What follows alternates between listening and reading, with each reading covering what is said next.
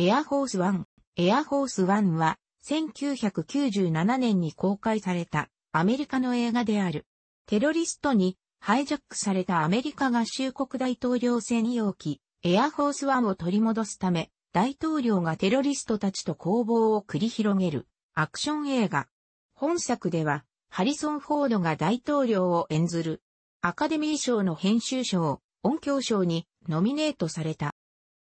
米国とロシアの合同特殊部隊は、ソ連復活を目論み、カザフスタンの指導者を自称する独裁者、イワン・ラデク将軍を拘束する。その3週間後、アメリカ合衆国大統領のジェームズ・マーシャルは、モスクワでロシア大統領との晩餐会の席上、スピーチを行った。大統領は原稿にとらわれず、自国の利益中心ではなく、倫理的に正しい行いを追求し、テロと戦うと演説し、万来の拍手で称賛される。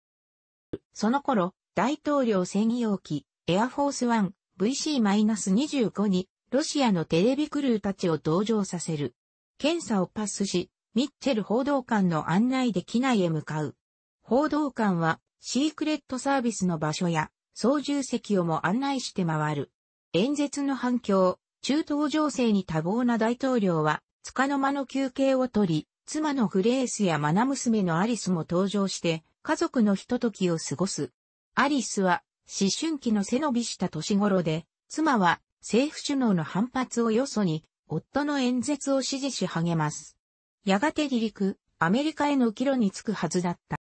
ドイツ上空に差し掛かった頃、米国側のシークレットサービス、ギブスの裏切りにより、シークレットサービスらが殺害され発煙筒が巻かれると、ロシアのテレビクルーたちは、機内の武器を奪い、ハジャックを成功させる。彼らは、ラデク奪還を目指すロシアの国粋主義テロリストたちだった。機長は、ラムシュタイン空軍基地へ緊急連絡を入れ、着陸させようとし、同基地からは、在王アメリカ空軍の F-15 戦闘機が、スクランブル発進して誘導する。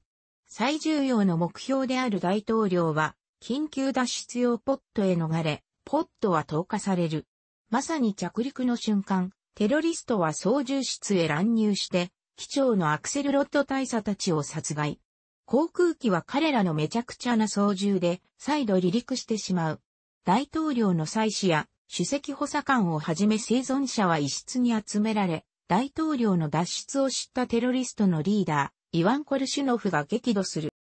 一方、ホワイトハウスでは副大統領、キャサリン・ベネット以下、政府首脳たちが対応にあたり、各発射スイッチのパスワードも変更された。イワンの要求は、ラデクの解放であり、30分ごとに人質を一人ずつ殺害すると話し、ホワイトハウスとの通信が切れる。その直後、脱出ポットに大統領がいなかった情報がホワイトハウスにもたらさる。マーシャルは脱出ポットだけを落として機外に脱出したように見せかけ、実は機内に潜伏していた。大統領はテロリストの一人をおびき寄せて武器と鍵を手に入れる。機内では大統領の孤独な戦いが始まった。しかし最初の30分が過ぎ、時間を引き延ばそうとしたホワイトハウスに対し、イワンはドハーディ、国家安全保障問題担当大統領補佐官を射殺する。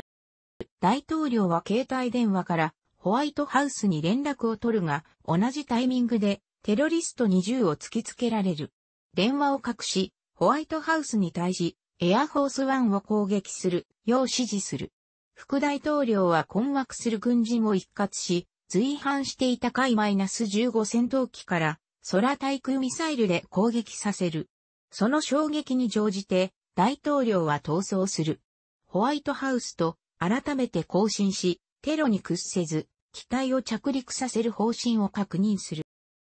イワンは潜伏者をおびき寄せようと、グレースとアリスの眼前で、ミッチェル報道官を殺害し、その様子を機内に放送する。大統領は葛藤するが、見殺しにせざるを得ず、人質のシェパード主席補佐官は焦りを隠せない。大統領は空軍と連絡を取り、回路を断線させて燃料を投棄し、気づいたイワンは空中給油を要求する。一方、大統領は人質を解放し、武器を手渡し助力を求める。副大統領はエアフォースワンがハイジャックされた事実を公表するが、それを見たイワンは大統領本人が機内に残留していることに気がつく。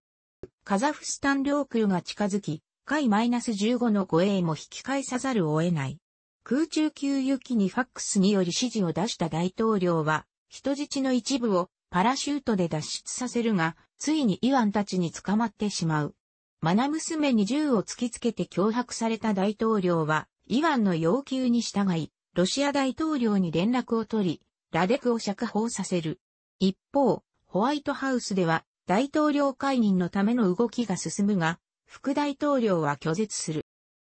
釈放に歓喜する隙をついて、大統領たちはテロリストを全員殺害したかに見えた。ロシア側もラデクを殺害する。機内に残った唯一のパイロットは、ベトナム戦争に従軍経験のある大統領だけであり、米ド供用のインジル陸空軍基地を目指す。そこに、カザフスタンのアクチュビンスクからラデクの信奉者たちが、ミーグ -29 の編隊で襲いかかってきた。真一発で、回 -15 の護衛が戻り、辛くも逃れるが、損傷は激しく、偶然近くを飛行中だった、米軍 MC-130 の特殊部隊が、空中から救出活動を行う。大統領は最後まで残り救出活動を見届けるが、大統領の番でギブスが再び襲いかかる。カスピ海に機体は墜落するが、大統領は真一発で逃れ、MC-130 に救出される。隊員たちは敬礼で迎え、その瞬間からコールサインをリバティ24からエアフォース1に変更する。副大統領はそれを受けて解任の書類を破り捨てる。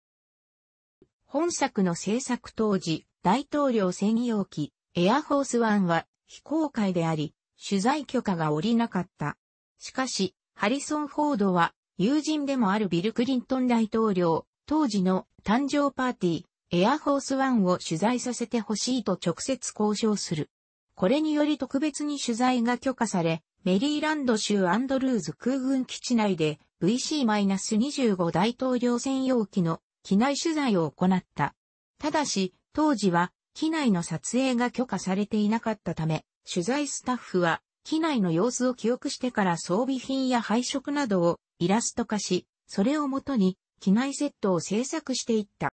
機内の撮影が許可されたのは、ジョージ・ W・ ブッシュ政権末期の2008年に入ってからであり、撮影した番組は、ヒストリーチャンネルやナショナルジオグラフィックチャンネルで制作され、日本語版も作られている。同番組では、機内セットがいかに成功かつ正確であったかを見比べるシーンも存在する。また、機内セットは後にテレビドラマ、ザ・ホワイトハウスでも使用されている。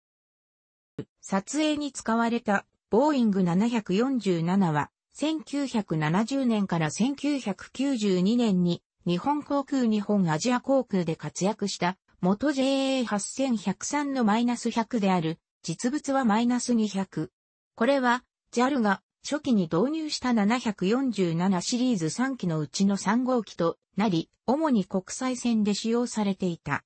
1992年には747から400への転換を経て、アメリカンインターナショナル航空に売却され、サウジアラビア航空やカリッターアに対応された後、2000年に完全退役して解体された。また、同期は1996年公開の映画、インデペンデンスデーのワンシーンにも登場している。本編における回 -15 は実機を用いて撮影されているが、撃墜されるシーンは前年に公開されたガメラにレギオン襲来と同じ特撮が用いられている。カザフスタイ空軍のミグ -29 やミ -24P も実機を使用して撮影されたが、やはり撃墜されたシーンでは特撮を用いる。本作の音楽は当初ランディ・ニューマンが担当したが、完成版ではジェリー・ゴールド・スミスの音楽が採用された。